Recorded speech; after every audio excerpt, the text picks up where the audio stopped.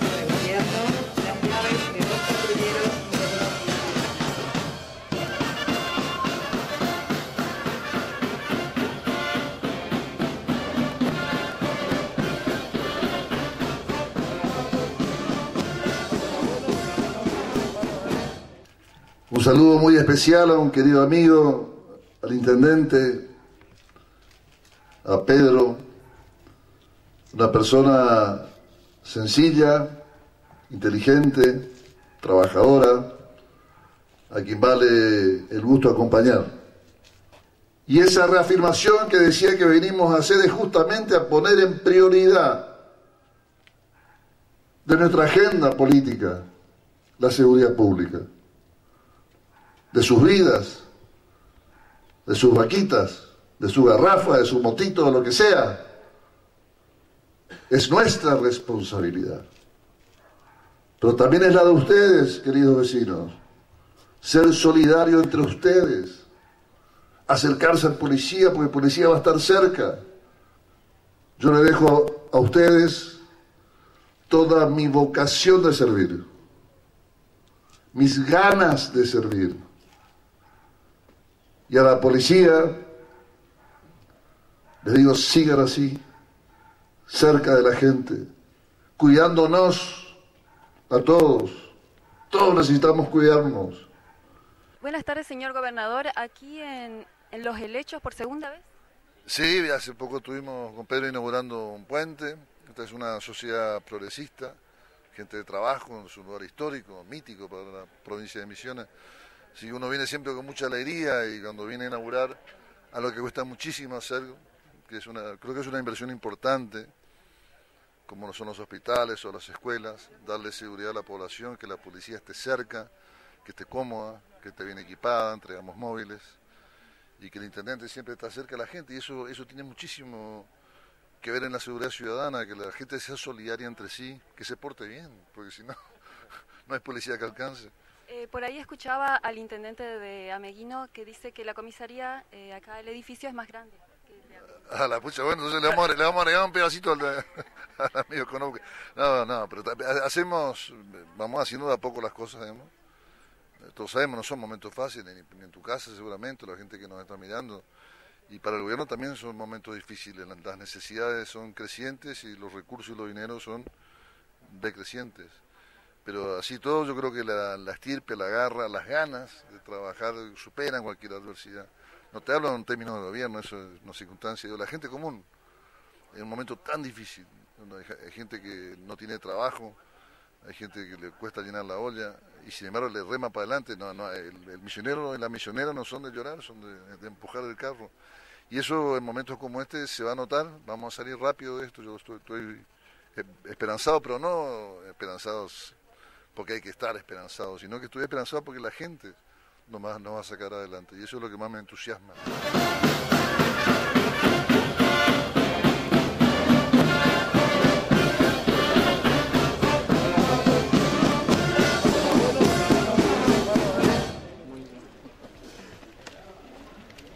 Intendente municipal de los helechos, profesor Pedro de Rubén Gómez, un verdadero acontecimiento acaba de suceder en su pueblo, cuál es la inauguración del el moderno, amplio edificio de la nueva comisaría de esta localidad.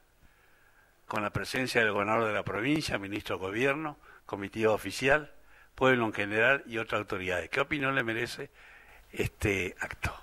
la verdad que fuimos honrados, ¿no? Con, la asistencia del gobernador, ese contacto que él siempre dice con la gente, me sorprendió, con nuestra gente, que todos los días nos vemos acá cara a cara, inaugurando algo necesario para los helechos, que es un pueblo en crecimiento constante, que es eh, la comisaría moderna, eh, a la altura de la circunstancia de cualquier dependencia de la institución en la provincia, y eso a mí me representa una enorme satisfacción. Siento que ayer eh, no había nada, no había nada, y nosotros comenzamos de la nada, y hoy está la comisaría, mañana van a venir otros edificios, y, y va a ser el pueblo que soñaron nuestros antecesores, y hoy nosotros estamos sembrando la semillita para las futuras generaciones. Intendente, cuando usted comenzaba el segundo gobierno municipal, este también se inició esta gestión costó bastante, ¿no? Y, ahora eh, se concretó. Sí, eh, tuvimos varios eh, viajes, usted nos acompañó en uno, ¿no? Hablamos con el jefe de policía y luego de aprobado todos los, los pedidos, hoy ya es una realidad, ya funciona la policía y bueno, está al servicio del pueblo como debe ser. Intendente, ¿qué significa para la población el hecho de tener ahora este más apoyo en lo que al tema policial se refiere y si entregaron algún móvil, algo que tenga que ver para el mejor trabajo de la policía local. No, ya suficiente con el edificio, no, podemos pedirle más, porque ya un edificio moderno, una inversión millonaria, un esfuerzo de todos los misioneros, eh, ya estamos eh, eh, contentísimos y estamos trabajando eh, con la policía, con el foro de seguridad para el equipamiento de los móviles. El municipio aportó esos días un fondo importante para eh, la, reparación de, la camioneta de la policía y así estamos trabajando a diario con los integrantes eh, de la fuerza local. Eso lo recalqué en el discurso. ¿no? Intendente, le cambio un poquito de, de óptica y ¿Qué está sucediendo con el tema del juzgado de paz, centro cívico? ¿Continúa esas obras? ¿Cómo va a ser? ¿Qué pasa con el juzgado? Y va lento, va lento. Hay otras prioridades, que es eh, la supervivencia. La gente por ahí no tiene para llegar al fin de mes. Eh, eso usted vive a diario eh, acá en la, en, la municipalidad y, y se siente en la calle pero se está trabajando. Este año hay compromiso de continuar el, el centro cívico y el juzgado de paz próximamente va a entrar en funcionamiento. ¿no? ¿Alguna otra obra? Y se va a empezar eh, a, con el tema de la vivienda, un techo para un hermano. Eso tuvo una reunión privada con el gobernador y hemos hablado y también eh, vamos a tener eh, la presencia de la provincia en, el equipamiento vial, ¿no? que están reclamados por los vecinos de los helechos para la reparación de caminos. Eso también lo recalqué en la reunión privada, que gracias a Dios eh, se concretó y ese es un sueño personal. Y sí, felicitarle a mi pueblo, ¿no? que, que es el que gestó todo esto. Si no fuera por él, no existiría. Pedimos la bendición del Señor. Padre eterno, yo te pido la bendición sobre esta comisaría nueva. Recordamos al fallecido recientemente escritor Arturo Edman con una poesía de su autoría.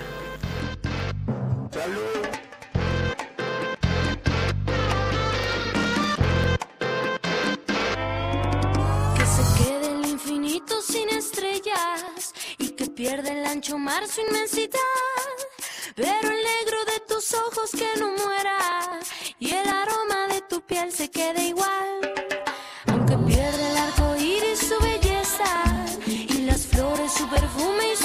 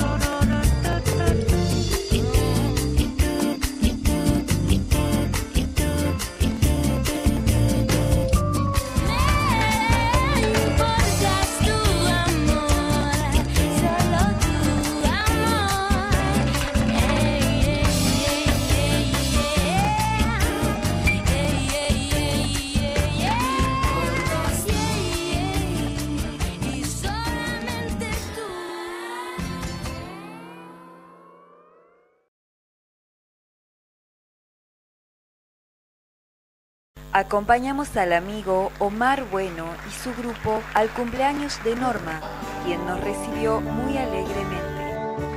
Feliz cumpleaños, Norma. Aquí estoy a tu lado, mi promesa.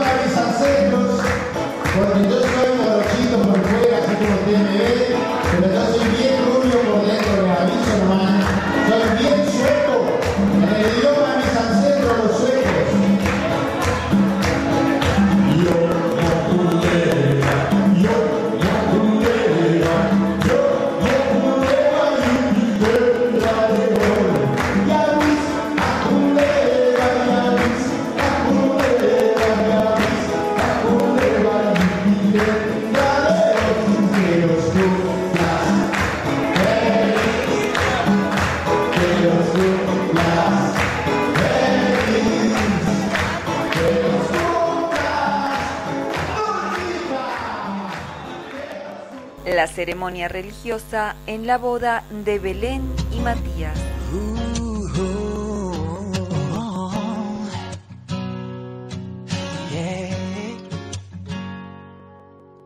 Tienes que saber que es lo último que pido, que estoy desesperado y según mis latidos no me queda mucho tiempo a mi favor.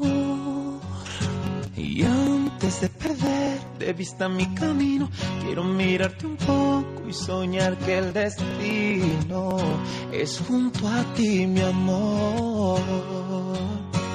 Quédate un segundo aquí, hacerme compañía. Y quédate tantito más, quiero sentirte mía. Y abrázame.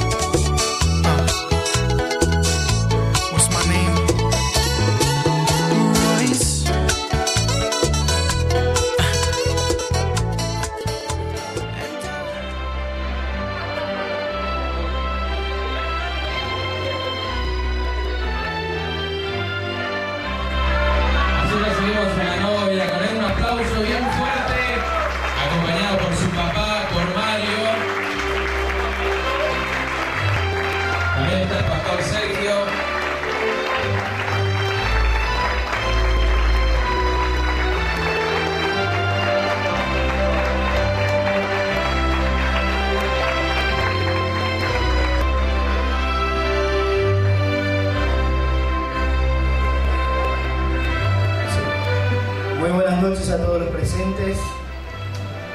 Buenas noches, Belén. Respiren tranquilos. Por favor, es su fiesta. Y este aplauso es para ustedes los dos. Vamos, vamos. Tienen que disfrutar este momento. de conducta que realzan y dan valor a nuestros padres y a nuestras autoridades. En la Biblia es honra a tu padre y a tu madre para que tengas éxito tengas una larga vida. Obediencia no es atención, no es hacerle un regalo el día de los padres. Ellos digan, esos son mis hijos. Hacer que sus conductas llenen de felicidad el corazón de Dios.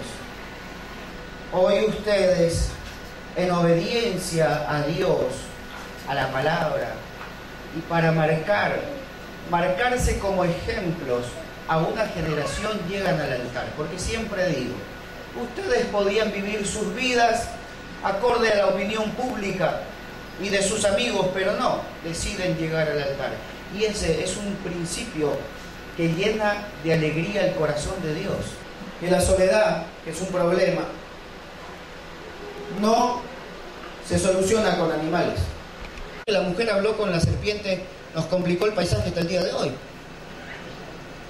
Así que el día que entres a tu casa y Belén esté hablando con el perro, con el gato, ese día, ese día, ¿ah? o el día que él entre a la casa y no te mire, no te hable y no te salude, pero el perro, hola mi corazón de papá. Nadie habla con los animales acá, ¿no? Porque conocí yo una persona que cuando entraba golpeaba la puerta, pateaba a los hijos y en el fondo hablaba tan cariñoso con el perro. Que la soledad, el problema, no se soluciona con trabajo. Porque dice que Adán tenía un problema, que estaba solo. Y le dio Dios el trabajo de hacer, de ponerle nombre a todos los animales. Se saturó, loco. ¿Cuánto tiempo estuvo ahí poniéndole nombre a todos los animales? Pero aún así, entre todo eso, dice que él, no, no, acá no está. Ella es, porque vos sos.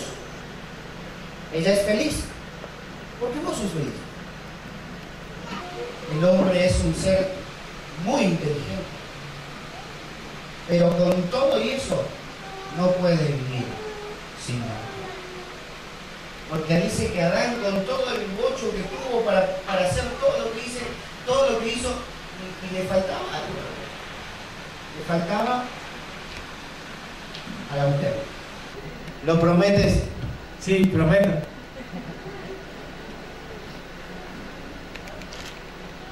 Y para la foto, posen para la foto. Con este anillo, Belén promete delante de Dios, la familia, que va a amar, respetar, acompañar en cada momento que la vida les dé y les quite a Matías, amándolo y respetándolo únicamente a él hasta que la muerte lo separe.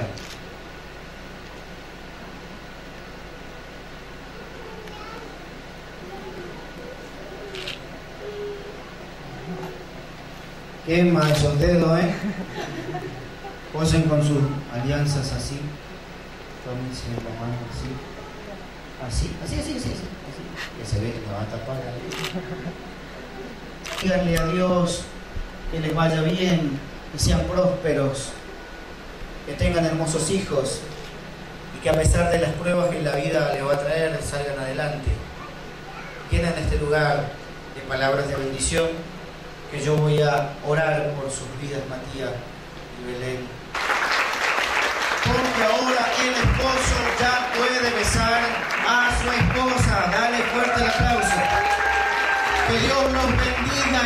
siga la fiesta.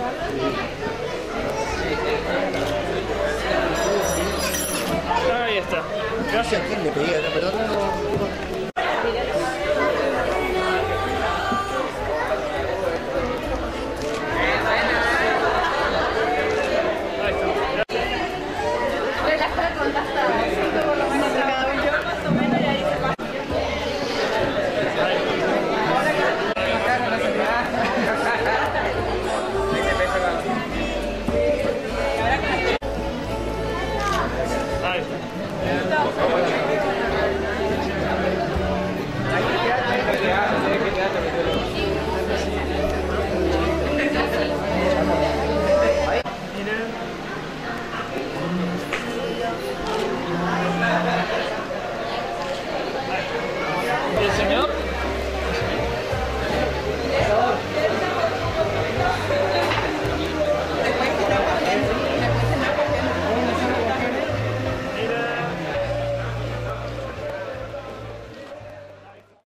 finaliza la revista, pero los esperamos en nuestro próximo programa.